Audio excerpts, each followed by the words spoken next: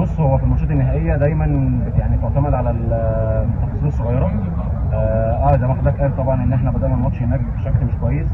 بس آه إحنا عندنا زي ما أنا قلت لحضرتك إن إحنا عندنا ميزة إن الماتش دوت عندنا في ملعبنا وسط جمهورنا. آه فإحنا إن شاء الله بإذن الله من أول دقيقة هننزل يعني وإحنا عند وإحنا عندنا ثقة في ربنا سبحانه وتعالى إن إحنا هنقدر نكسب الماتش. وهنضغط عليهم من الأول وندخل المباراه ان شاء الله. آه، طبعا آه، كل اللعيبة مش محتاجة إن أنا أقدم لهم نصيحة كل اللعيبة لعيبة كبيرة وكل اللعيبة عارفة أهمية الماتش بتاع اللي إحنا هنلعبه إن شاء الله في ال- يوم الأحد في النهائي الكونفدراليه.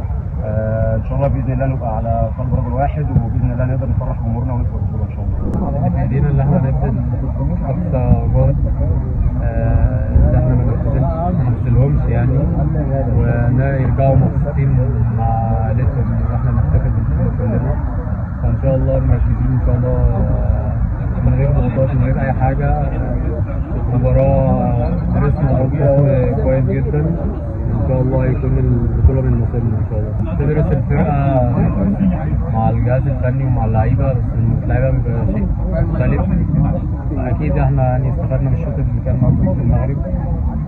نزود على الحاجات الايجابيه اللي كانت موجودة في الماتش والحاجات السلبية نتفاداها ان شاء الله عايزين نلعب على مكسب كبير إن شاء الله نفرح بيه جمهورنا الزمالك الأيام اللي فاتت ان شاء الله محمد هي مباراة زي أي مباراة آه كانت هناك عندنا ضغط علينا ضغط شوية وضغط جمهور بس دلوقتي إحنا عندنا إحنا